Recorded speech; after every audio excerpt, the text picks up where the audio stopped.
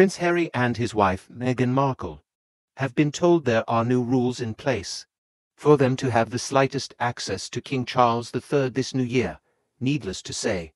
The protective barriers put around King Charles are strict, well calculated, and impenetrable. According to a royal source, King Charles and the heir to the throne, Prince William, were forced to take a tougher stance against Prince Harry, after his many coups at destroying the family, and the monarchy with his revelations and accusations. Another reason for King Charles to be careful and put these measures in place is that there is a huge possibility that both Prince Harry and Meghan Markle are set to publish books this year after signing a massive deal with Penguin.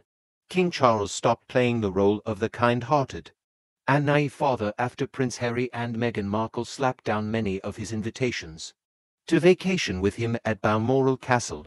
A palace insider explained that a meeting between Prince Harry and the monarch will be done under some tough conditions because trust is gone. The source stated, there is very little trust there. Which is understandable. If there will be a meeting, it will have to be done properly with aides and officials present, and everything documented. With minutes taken, royal expert Ingrid Seward revealed that there is a big possibility that Prince Harry and his wife will reunite with His Majesty this year. She went on to explain, the Duke and Duchess of Sussex will reunite with King Charles. The couple needs the king and his blessing far more than the king needs them, and they feel that they will be seeing him.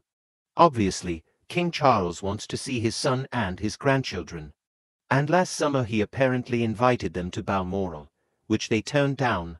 However, Prince Harry might view all these walls as rather insulting and ridiculous, because he is the son of the King of England and he is being asked to jump through rather complicated hoops to see or speak with his own father.